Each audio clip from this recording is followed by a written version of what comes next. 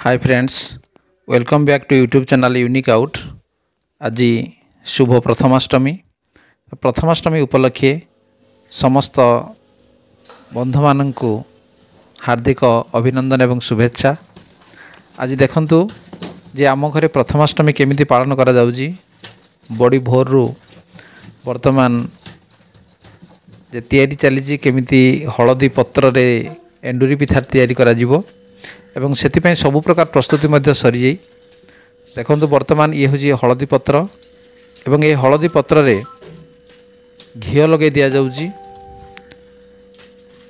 ଏବଂ ତା ପୂର୍ବରୁ ମଧ୍ୟ ବିରି ଚାଉଳକୁ ସେହି ଅନୁସାରେ ମଧ୍ୟ ତାକୁ ପ୍ରସ୍ତୁତ କରା ସରିଛି ଗ୍ରାଇଣ୍ଡିଙ୍ଗ କରାଯାଇ ଏବଂ ଆଜି ଏଣ୍ଡୁରି ପିଠା ତିଆରି କରାଯିବ ହଳଦୀ ପତ୍ରରେ ଯାହାକି ପ୍ରଥମାଷ୍ଟମୀର ମୁଖ୍ୟ ଆକର୍ଷଣ।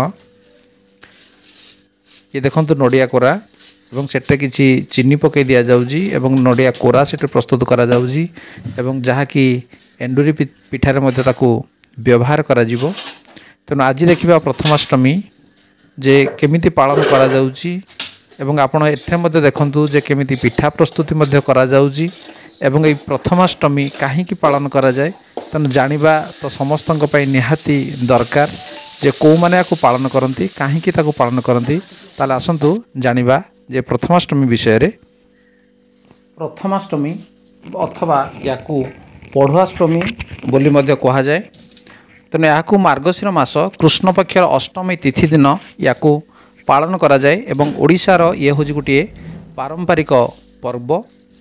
ଏହା ସୌଭାଗିନୀ ଅଷ୍ଟମୀ କାଳ ଭୈରବାଷ୍ଟମୀ ବା ପାପନାଶିନୀ ଅଷ୍ଟମୀ ଭାବେ ମଧ୍ୟ ୟାକୁ ନାମିତ କରାଯାଏ।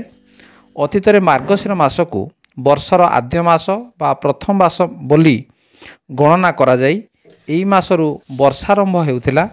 ତେଣୁ ବର୍ଷର ପ୍ରଥମ ମାସର ପ୍ରଥମ ଅଷ୍ଟମୀକୁ ପ୍ରଥମାଷ୍ଟମୀ ବୋଲି କୁହାଯାଇଅଛି।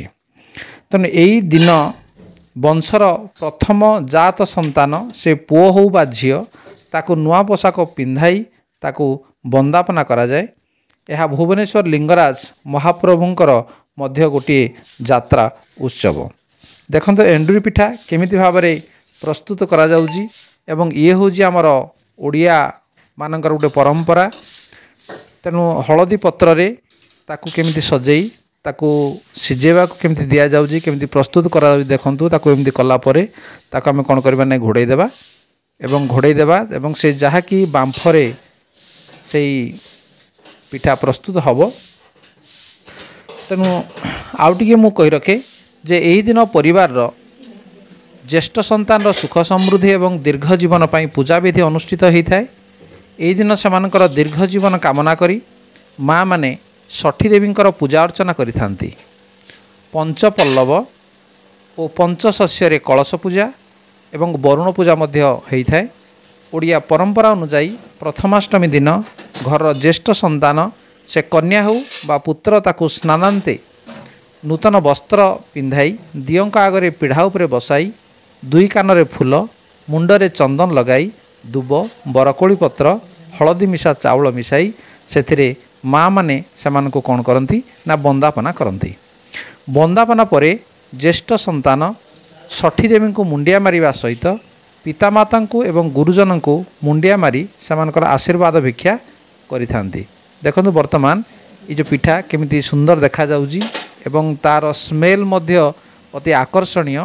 ତେଣୁ ଏଇ ଯେଉଁ ହଳଦୀ ପତ୍ରରେ ପିଠା କେବଳ ଏଇ ପ୍ରଥମାଷ୍ଟମୀ ଦିନ ହିଁ କରାଯାଏ ଏବଂ ଅନ୍ୟ ଦିନ ଏହାକୁ କରାଯାଏ ନାହିଁ। ଦେଖନ୍ତୁ। ତେଣୁ ପରିବାରର ଯିଏ ଜ୍ୟେଷ୍ଠ ପୁତ୍ର ବା ଜ୍ୟେଷ୍ଠ କନ୍ୟାର ନବବସ୍ତ୍ର ପରିଧାନ ପରେ ବନ୍ଦାପନା ହେବାର ଏ ଯେଉଁ ବିଶେଷ ବିଧି ୟାକୁ ଆମେ କହୁ କ'ଣ? ଯେ ପଢ଼ୁଆଁ। ତେଣୁ ପଢ଼ୁଆଁ ଇଏ ହେଉଛି ଯାହାକୁ ଆମେ ପ୍ରଥମାଷ୍ଟମୀ ନାମରେ ଆମେ ପଢ଼ୁଆଷ୍ଟମୀକୁ ପ୍ରଥମାଷ୍ଟମୀ ବୋଲି ନାମରେ ଆମେ ପରିଚିତ।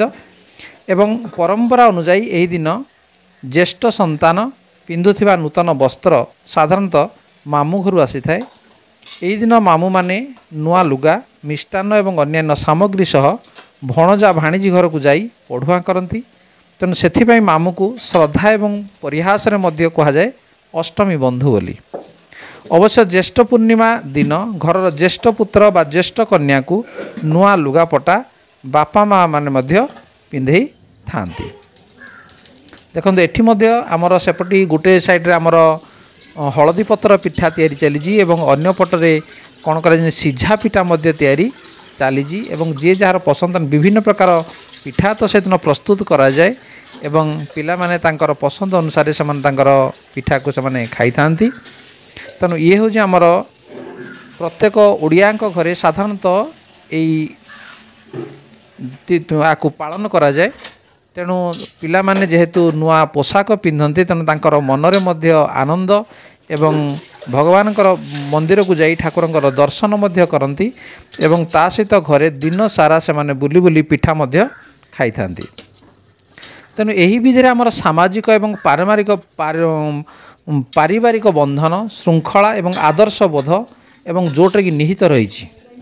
ଏବଂ ଏଠି ଜ୍ୟେଷ୍ଠ ପୁତ୍ରଙ୍କୁ ପୂଜା କରାଯିବାର କାରଣ ହେଉଛି ଯେ ଜ୍ୟେଷ୍ଠ ପୁତ୍ର ପରିବାରର ପିତା ସମାନ ପିତାଙ୍କ ଅନ୍ତେ କିମ୍ବା ପିତାଙ୍କ ଅକର୍ତ୍ତବ୍ୟରେ ଘର ଚଳାଇବା ଅନ୍ୟାନ୍ୟ ସନ୍ତାନ ଅର୍ଥାତ୍ ଅନ୍ୟମାନେ ଯେଉଁମାନେ ଭାଇ ଭଉଣୀ ଅଛନ୍ତି ସେମାନଙ୍କର ପ୍ରତିପୋଷଣ କରିବା ଦାୟିତ୍ୱ ଜ୍ୟେଷ୍ଠ ପୁତ୍ର ଉପରେ ପଡ଼ିଥାଏ।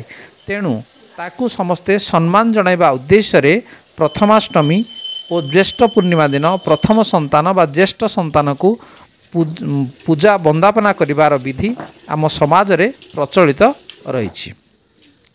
ଏବଂ ଏଣ୍ଡୁରି ପିଠା ଯିଏକି ହେଲା ପ୍ରଥମାଷ୍ଟମୀର ସବୁଠୁ ବିଶେଷତ୍ୱ ମୁଁ କହିସାରିଛି ତେଣୁ ଏହି ପତ୍ର ପାଇଁ ଏହି ପିଠା ପାଇଁ ସାଧାରଣତଃ ହଳଦୀ ପତ୍ର ବ୍ୟବହାର ଇଏ ହେଉଛି ମଧ୍ୟ ଅନ୍ୟ ଏକ ବିଶେଷତ୍ୱ ଏବଂ ଅନ୍ୟ କୌଣସି ପିଠାରେ ହଳଦୀ ପତ୍ର ସାଧାରଣତଃ ବ୍ୟବହାର ହୁଏ ନାହିଁ। କେବଳ ପ୍ରଥମାଷ୍ଟମୀ ଉପଲକ୍ଷେ ଏଣ୍ଡୁରି ପିଠାରେ ହଳଦୀ ପତ୍ର ବ୍ୟବହାର ପ୍ରସିଦ୍ଧ। ତାହେଲେ ଆସନ୍ତୁ ଦେଖିବା ଯେ ଆମ ଘରେ ପ୍ରଥମାଷ୍ଟମୀ କେମିତି ପାଳନ କରାହେଲା।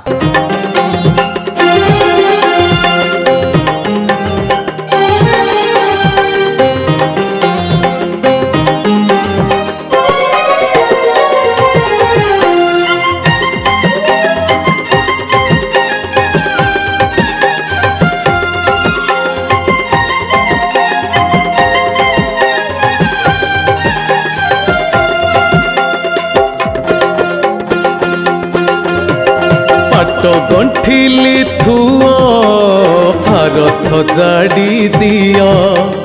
ପଢୁଆ ହେବ ପରା ମୋ କାଳିଆ ଦିଅ। ଆରେ ପାଟ ଗଣ୍ଠିଲି ଥୁଅ ଭାର ସଜାଡ଼ି ଦିଅ।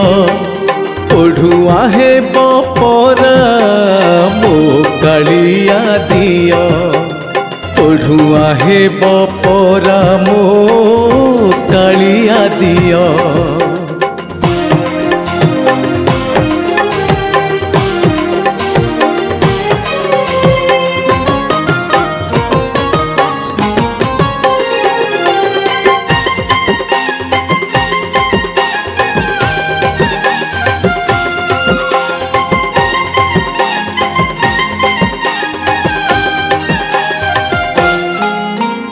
অরুন্ধতিপুর আজি উঠে উছুলি ঘণ্ট ঘণ্টা বাজে শঙ্খ ঢোল মহুরি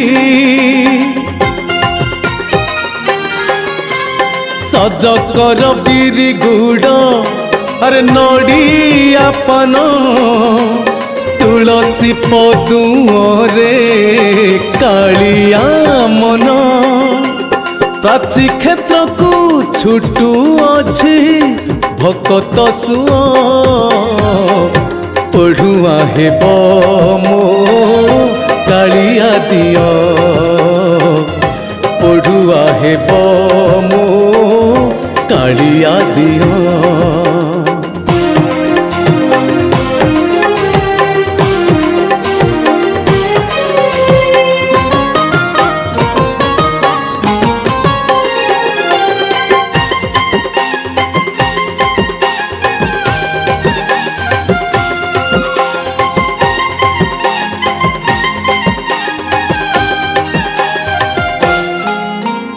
ଆଗରେ ଯିବେ ଭକତ ପତାକା ଧରି ଗଡ଼ୁଆ ପଛରେ ଯିବେ ଆଖଡ଼ା କରି। ରାମ ତାଳିରେ ନାଚିବେ ଗୋପାଳ ଦଳ। କୀର୍ତ୍ତନରେ ବାଜୁଥିବ ଖୋଳ କରତାଳ। ବାଟେ ହୁରି ପଡୁଥିବ ମାଧବ ଜୟ। ପଢୁଆ ହେବ ମୋ କାଳିଆ ଦିଅ। ପଢୁଆ ହେବ ମୋ କାଳିଆ ଦିଅ। ଦେଖିଲେ ତ ଫ୍ରେଣ୍ଡସ୍ କେମିତି ପାଳନ ହେଲା ଆମର ପ୍ରଥମାଷ୍ଟମୀ? ତେଣୁ ପ୍ରଥମାଷ୍ଟମୀର ସମସ୍ତଙ୍କୁ ଶୁଭେଚ୍ଛା।